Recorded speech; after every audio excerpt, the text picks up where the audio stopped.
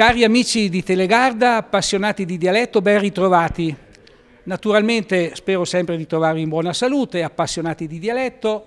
Naturalmente il solito quaderno degli appunti con la penna, perché vi voglio sempre diligenti scolaretti, come quando appunto andavo ad insegnare le medie. Voi vedete che oggi mi trovo in una location, lasciatemi passare anche se è una trasmissione sul dialetto, ma questo termine lasciatemi dire perché location è troppo, insomma, mi trovo in un posto, vedete, molto particolare, vedete, mi trovo davanti alla Basilica di Loreto. Ecco, voi dite, ma è a Loreto il Parisi? No, ecco, non sono a Loreto, vi dico subito, anche se vedete questo splendido monumento religioso appunto dietro di me, sono ad Andalo voi dite, ma che c'entra Andalo con la trasmissione sul dialetto? Ve lo spiego dopo. Intanto vi dico che sono qui al Palazzo dei Congressi appunto di Andalo, dove sono venuto a rivedere i presepi di Gino Simoni. Quelli dell'Alto Garda sanno sicuramente chi è Gino Simoni, sanno la storia dei suoi presepi, presepi che ad un certo punto correvano il rischio di andare distrutti. Fortunatamente c'è stato un signore eh, molto attento a quello che si sentiva sui giornali, che ha letto appunto un articolo, questo articolo in cui Simoni faceva questo progetto di distruzione dei presepi, e ha detto no, questi me li vado a prendere io. E questo personaggio ce l'ho qua vicino a me, è l'ex sindaco di Andalo, Paolo Catanzaro, sindaco, anzi ex sindaco, ma per me è il sindaco perché è l'autore di questa, di questa azione molto importante Grazie per aver accolto il nostro invito. Ecco, adesso da lei però voglio capire come è nata questa sua azione eh, come, garibaldina. Come ha appena detto, ho letto sull'Adige questo sfogo di Gino Simoni e siccome a me i presepi piacciono, eh, ho detto non è possibile che dei presepi vengano distrutti. E così cerco di eh, contattare Gino Simoni, ho la fortuna, io mi reputo fortunato perché, fortunato perché quel giorno ho letto il suo sfogo, ho avuto la fortuna di avere il suo numero di telefono, lo contatto e per rassicurarlo, così senza averli visti, gli ho detto Gino ci penso io, li portiamo ad Andalo.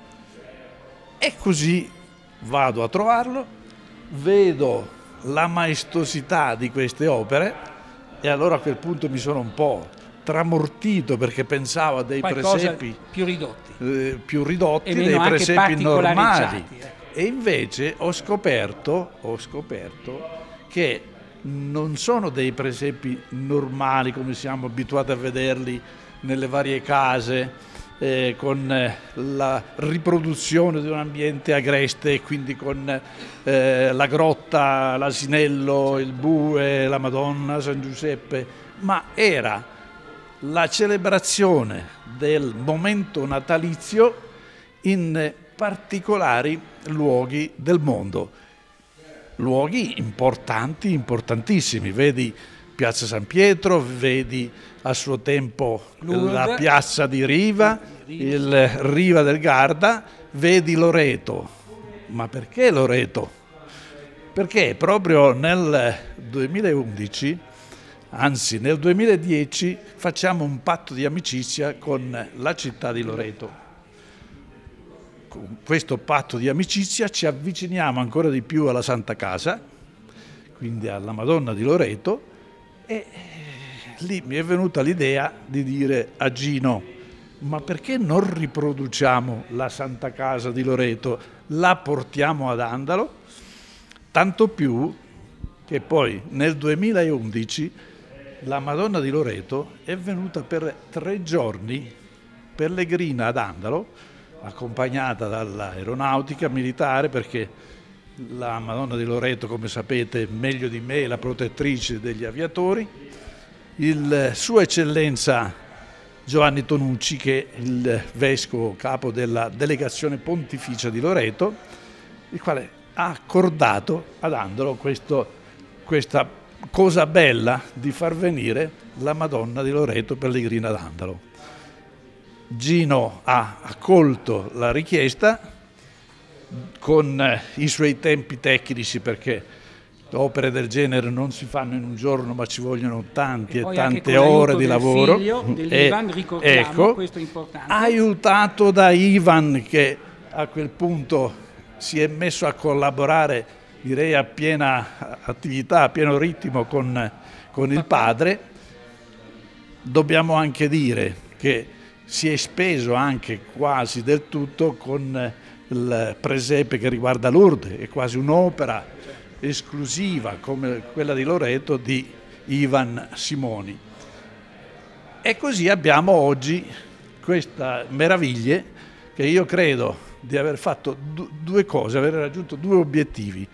Quello di avere dato a Gino Simoni la possibilità, quindi gli spazi, quindi tutto ciò che serviva per le sue aspettative e credo di aver dato al nostro paese, certo. Andalo, un qualche cosa che rimarrà nel tempo e sicuramente sia gli abitanti, la popolazione di Andalo, così tutti i turisti che verranno in questa località saranno lieti e felici di poterli apprezzare. Quindi è diventata anche un'attrattiva turistica. Quindi... È diventata una componente, una motivazione una turistica, tante, certo, delle tante motivazioni che voi ne già diverse, esatto. interessantissime. Questa Ma questa è un, un'ulteriore motivazione turistica per venire ad Andalo a vedere le nostre allora, bellezze. Perdoniamo l'ex sindaco Paolo Catanzaro di averci portato via noi dall'Alto Garda i presepi di Simone. Quindi grazie. Noi non le abbiamo portato via do, a dove erano perché facciamo parte sempre del Trentino, quindi rimane tutto certo, certo. qui nell'ambito trentino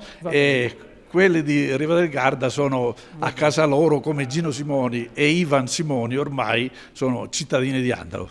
Vedete che abbiamo cambiato location, non, non spaventatevi di questa parola, eh.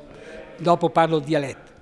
Vedete che mi trovo davanti in questa occasione a un altro manufatto, vedete, notevole, religioso, pensate, è la ricostruzione della Basilica di Lourdes, sempre di Gino Simoni.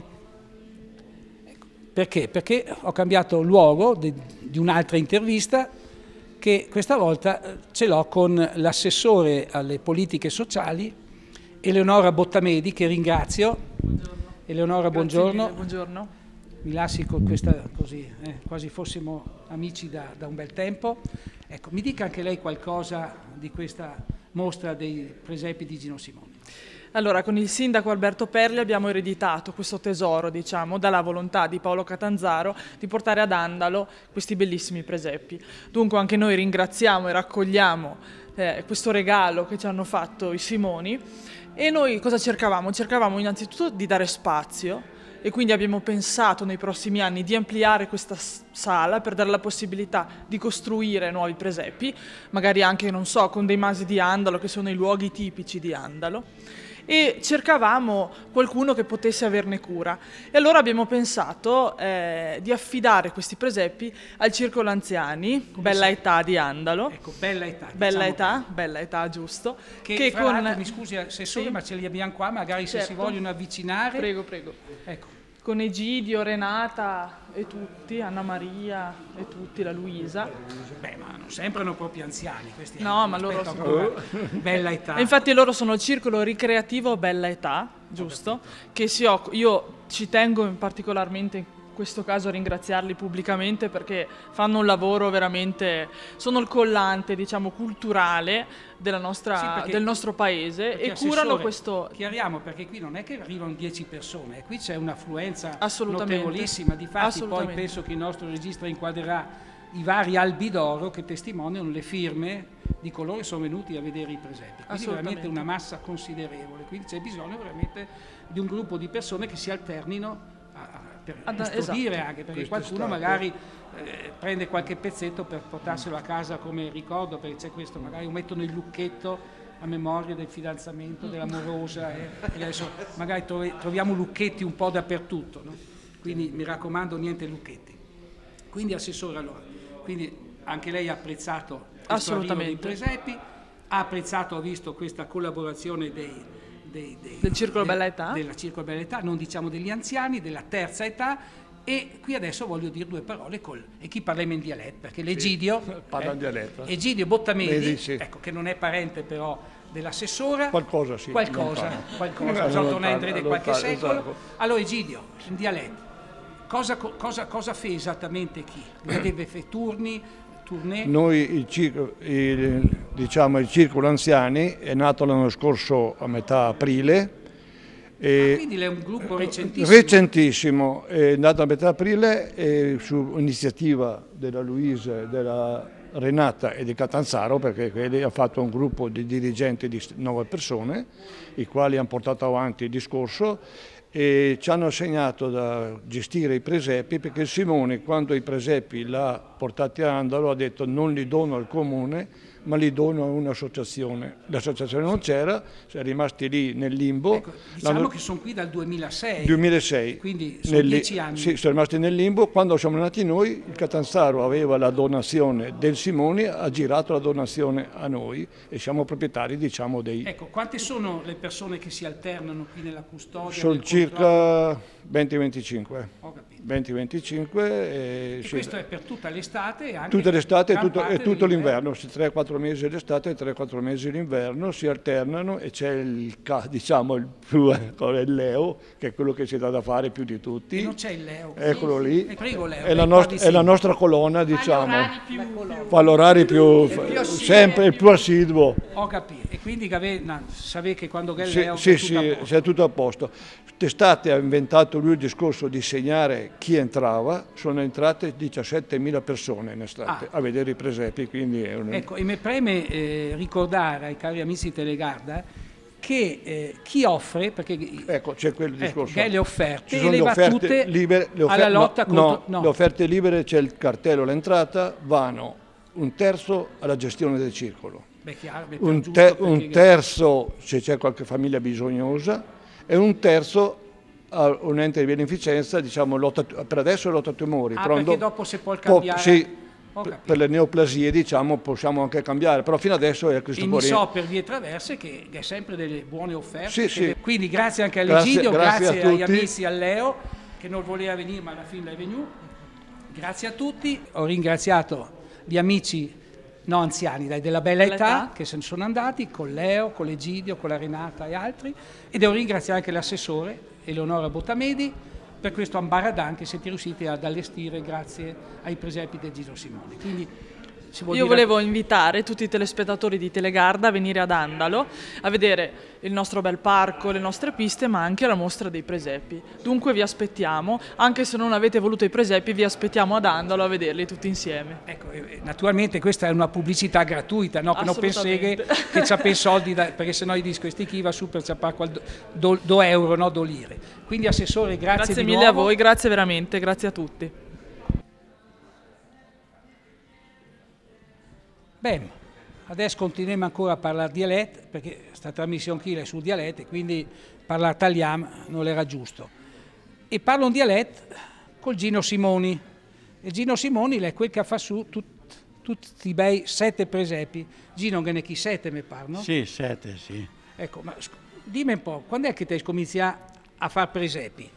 Eh, sta dall'89, ho iniziato siccome ho avuto dei, dei problemi di salute, allora ho pensato, se vado fuori stavolta farò qualcosa per aiutare gli altri, no?